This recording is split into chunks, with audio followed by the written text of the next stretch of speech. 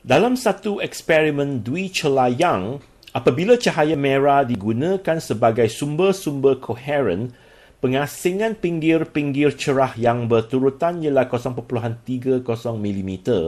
Jika cahaya merah digantikan dengan cahaya biru, berapakah pengasingan pinggir-pinggir cerah yang berturutan? Diberi panjang gelombang cahaya merah adalah 6.9 dalam 10 kuasa negatif 7 meter dan uh, panjang gelombang cahaya biru adalah 4.6 darab 10 kuasa negatif 7 meter. Uh, ini adalah uh, eksperimen interference cahaya yang membandingkan corak-corak yang dihasilkan oleh dua cahaya yang mempunyai warna yang berbeza. Kalau warna yang dia berbeza ini bermakna frekuensi dan juga panjang gelombang dia adalah berbeza lah. Dan uh, di sini kita ada dua case. Yang pertama adalah kita menggunakan cahaya merah, okay. Jadi merah dan yang kedua adalah kita menggunakan cahaya biru eh, okay. Bagi cahaya merah ini, kita ada jarak di antara dua pinggir cerah yang berturutan bersamaan dengan 0.30 mm lah. Iaitu X. X sama dengan 0.30 mm. Ini X1. X1. Dan X2 adalah apa yang kita nak cari. Okay. Lepas tu kita ada panjang gelombang. Ha. Panjang gelombang bagi gelombang merah lambda 1 lambda 1 sama dengan 6.9 darab 10 kuasa negatif 7 meter dan uh, lambda 2 sama dengan 4.6 darab 10 kuasa negatif 7 meter. Eh. Okay.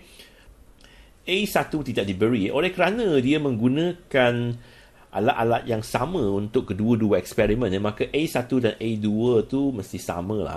Kalau dia sama, kita mesti menggunakan simbol yang sama. A1 sama dengan A dan A2 mesti sama dengan A. Ya, ini penting eh. Sebab kalau uh, kita menggunakan simbol yang sama, maka kita boleh menghapuskan dia. Ha? Semasa uh, kita menyelesaikan masalah ini dengan menggunakan persamaan serentak. Okay. Uh, begitu juga dengan D1 eh. D1 sama dengan D. Uh, D2 juga sama dengan D. Okay. Jadi selepas kita mendapat uh, dua set maklumat ini, maka kita boleh mula akan pengiraan kita lah. Okay. Yang pertama adalah lambda 1 sama dengan A1X1D 1 eh, dan lambda 1 ini sama dengan 6.9 darab 10 kuasa negatif 7 eh. Okey, A1 sama dengan A uh, X1 ini sama dengan 0.3 eh. Okey. Nah, ini uh, dalam milimeter eh. Okey. Terpulanglah kepada kita sama ada nak tukarkan dia kepada meter atau tidak. Kalau uh, kita tak tukar pun boleh juga eh. Sebab ini kalau kita tukar pun kita akan dapat jawapan yang sama jugalah eh. Okey. Lepas tu D1 sama dengan D ya. Okey, D1 sama dengan D. Okey, ini adalah persamaan yang pertama eh. Okey, ini adalah persamaan satu ya, persamaan satu. Lepas tu untuk set maklumat yang kedua iaitu lambda 2 sama dengan A2 X2 D2. Okey. Lambda 2 ini adalah 4.6 darab 10 kuasa negatif 7 A2 sama dengan AX2 adalah apa yang kita nak cari dan uh, D2 lah. Uh, D2 ni sama dengan D ya. Okey. Uh, ini persamaan yang kedua. Jadi kita boleh selesaikan persamaan serentak eh. Persamaan yang kedua bahagi dengan persamaan yang pertama.